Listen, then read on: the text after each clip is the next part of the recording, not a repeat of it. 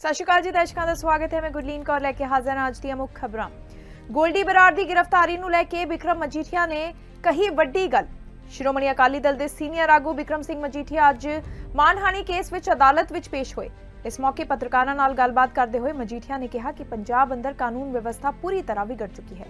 ਜਲੰਧਰ ਦੇ ਲਤੀਫਪੁਰਾ ਦੇ ਮਸਲੇ ਤੇ ਗੱਲਬਾਤ ਕਰਦੇ ਹੋਏ ਵਿਕਰਮ ਮਜੀਠੀਆ ਨੇ ਕਿਹਾ ਕਿ ਜਦੋਂ ਆਮ ਆਦਮੀ ਪਾਰਟੀ ਦੀ ਸਰਕਾਰ ਸੱਤਾ ਵਿੱਚ ਆਈ ਸੀ, ਤਾਂ ਲੋਕਾਂ ਨੂੰ ਰੋਟੀ, ਕੱਪੜਾ ਅਤੇ ਮਕਾਨ ਦੇਣ ਦਾ ਵਾਅਦਾ ਕੀਤਾ ਸੀ।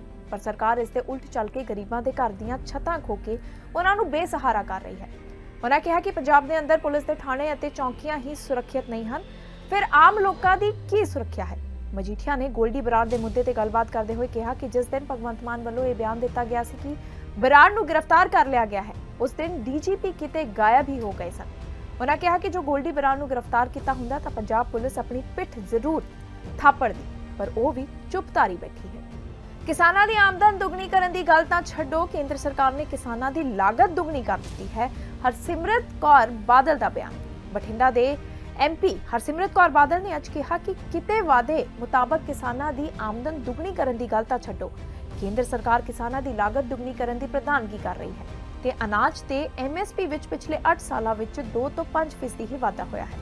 ਸੰਸਦ ਵਿੱਚ ਆਵਾਜ਼ ਬੁਲੰਦ ਕਰਦਿਆਂ ਹਰਸਿਮਰਤ ਕੌਰ ਬਾਦਲ ਨੇ ਆਖਿਆ ਕਿ ਇਹ ਬਹੁਤ ਹੀ ਤਰਸ ਵਾਲੀ ਗੱਲ ਹੈ ਕਿ ਸਰਕਾਰ ਵੱਲੋਂ 4 ਲੱਖ ਕਰੋੜ ਰੁਪਏ ਦੀ ਵਾਧੂ ਖਰਚ ਕੀਤੀ ਰਾਸ਼ੀ ਵਿੱਚੋਂ ਕਿੰਨੀ ਕਿਸਾਨਾਂ ਕੋਲ ਪਹੁੰਚੀ। ਇਨੋਵਾ ਅਤੇ ਸਵਿਫਟ ਕਾਰ ਵਿਚਾਲੇ ਹੋਈ ਭਿਆਨਕ ਟੱਕਰ ਦੌਰਾਨ ਦੋ ਨੌਜਵਾਨਾਂ ਦੀ ਮੌਤ, ਚਾਰ ਕੁੜੀਆਂ ਗੰਭੀਰ ਜ਼ਖਮੀ। ਤੇਜ਼ ਰਫ਼ਤਾਰ ਅਕਸਰ ਹੀ ਹਾਦਸਿਆਂ ਦਾ ਕਾਰਨ ਬਣਦੀ ਹੈ ਅਤੇ ਇਹਨਾਂ ਹਾਦਸਿਆਂ ਦੇ ਵਿੱਚ ਬੇਕਸੂਰ ਲੋਕਾਂ ਨੂੰ ਆਪਣੀ ਜਾਨ ਤੋਂ ਹੱਥ ਧੋਣਾ ਪੈਂਦਾ ਹੈ। ਅਜਿਹਾ ਹੀ ਇੱਕ ਹਾਦਸਾ ਮੰਗਲਵਾਰ ਨੂੰ ਵਾਪਰਿਆ ਹੈ। ਦਰਅਸਲ ਨਕੋਦਰ ਫਗਵਾੜਾ ਰੋਡ ਤੇ ਉੱਪਰ ਪਿੰਡ ਢਾਲੀਵਾਲ ਨਜ਼ਦੀਕ ਇੱਕ ਸਵਿਫਟ ਕਾਰ ਅਤੇ ਇਨੋਵਾ ਗੱਡੀ ਦੇ ਵਿਚਾਲੇ ਭਿਆਨਕ ਟੱਕਰ ਹੋ ਗਈ। ਇਹ ਟੱਕਰ ਇੰਨੀ ਜ਼ਬਰਦਸਤ ਸੀ ਕਿ ਹਾਦਸੇ ਦੇ ਵਿੱਚ ਦੋ ਨੌਜਵਾਨਾਂ ਦੀ ਮੌਕੇ ਤੇ ਹੀ ਮੌਤ ਹੋ ਗਈ, ਜਦਕਿ ਚਾਰ ਕੁੜੀਆਂ ਵੀ ਗੰਭੀਰ ਜ਼ਖਮੀ ਹੋ ਗਈਆਂ ਹਨ। ਜ਼ਖਮੀਆਂ ਨੂੰ ਗੰਭੀਰ ਹਾਲਤ ਦੇ ਵਿੱਚ ਨਕੋਦਰ ਦੇ ਸਿਵਲ ਹਸਪਤਾਲ ਦੇ ਵਿੱਚ ਭਰਤੀ ਕਰਵਾਇਆ ਗਿਆ ਹੈ, ਜਿੱਥੇ ਉਹਨਾਂ ਦੀ ਨਾਜ਼ੁਕ ਹਾਲਤ ਨੂੰ ਦੇਖਦਿਆਂ ਸਿਵਲ ਹਸਪਤਾਲ ਜਲੰਧਰ ਵਿਖੇ ਰੈਫਰ ਕਰ ਦਿੱਤਾ ਗਿਆ ਹੈ। ਸਰਾਰੀ ਦਾ ਮੰਤਰੀ ਬਣੇ ਰਹਿਣਾ ਤੇ ਪ੍ਰੋਫੈਸਰ ਬਲਜਿੰਦਰ ਦਾ ਪਿਛਲੇ ਦਰਵਾਜ਼ੇ ਰਾਹੀਂ ਮੰਤਰੀ ਮੰਡਲ ਚ ਆਉਣਾ ਚਿੰਤਾਜਨਕ। ਬਾਜਵਾ ਦਾ ਬਿਆਨ, ਕਾਂਗਰਸ ਦੇ ਸੀਨੀਅਰ ਆਗੂ ਅਤੇ ਪੰਜਾਬ ਵਿੱਚ ਵਿਰੋਧੀ ਧਿਰ ਦੇ ਨੇਤਾ ਪ੍ਰਤਾਪ ਸਿੰਘ ਬਾਜਵਾ ਨੇ ਦਾਗੀ ਮੰਤਰੀ ਫੌਜਾ ਸਿੰਘ ਸਰਾਰੀ ਨੂੰ ਮੰਤਰੀ ਬਣੇ ਰਹਿਣ ਅਤੇ ਪਿਛਲੇ ਦਰਵਾਜ਼ੇ ਤੋਂ ਪ੍ਰੋਫੈਸਰ ਬਲਜਿੰਦਰ ਕੌਰ ਨੂੰ ਕੈਬਨਿਟ ਰੈਂਕ ਦੇਣ ਲਈ ਭਗਵੰਤ ਮਾਨ ਦੀ ਆਲੋਚਨਾ ਕੀਤੀ ਹੈ। ਬਾਜਵਾ ਨੇ ਕਿਹਾ ਕਿ ਪ੍ਰੋਫੈਸਰ ਬਲਜਿੰਦਰ ਕੌਰ ਦੋ ਵਾਰ ਵਿਧਾਇਕ ਰਹਿ ਚੁੱਕੀ ਹੈ ਤੇ ਆਪਣੀ ਮਰਜ਼ੀ ਅਨੁਸਾਰ ਮੰਤਰੀਆਂ ਨੂੰ ਕੌਂਸਲ ਵਿੱਚ ਸ਼ਾਮਲ ਕਰਨਾ ਭਗਵੰਤ ਮਾਨ ਸਰਕਾਰ ਦਾ ਅਧਿਕਾਰ ਹੈ।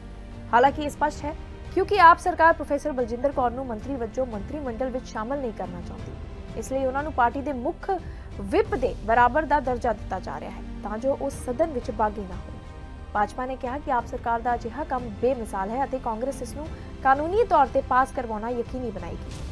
ਇਸ ਦੌਰਾਨ ਬਾਜਵਾ ਨੇ ਸਰਾਰੀ ਨੂੰ ਕੈਬਨਿਟ ਮੰਤਰੀ ਬਣਾਏ ਰੱਖਣ ਲਈ ਭਗਵੰਤ ਮਾਨ ਦੀ ਆਲੋਚਨਾ ਕੀਤੀ, ਜੋ ਉਸ ਆਡੀਓ ਕਲਿੱਪ ਦੇ ਲੀਕ ਹੋਣ ਤੋਂ ਬਾਅਦ ਦਾਗੀ ਹੋ ਗਏ ਹਨ, ਜਿਸ ਵਿੱਚ ਉਹਨਾਂ ਨੂੰ ਆਪਣੇ ਨਿੱਜੀ ਸਹਾਇਕ ਤਰਸੇਮ ਲਾਲ ਕਪੂਰ ਦੇ ਨਾਲ ਠੇਕੇਦਾਰਾਂ ਤੋਂ ਪੈਸੇ ਵਸੂਲਣ ਦੀ ਯੋਜਨਾ ਬਣਾਉਂਦੇ ਸੁਣਿਆ ਗਿਆ ਸੀ। ਇਹੋ ਜਿਹੀ ਖਬਰਾਂ ਸੁਣਨ ਲਈ ਦੇਖਦੇ ਰਹੋ ਪੰਜਾਬ ਟੁਡੇ ਜੁੜੇ ਰਹੋ ਸਾਡੇ ਚੈਨਲ ਦੇ ਨਾਲ। ਸਤਿ ਸ਼੍ਰੀ ਅਕਾਲ।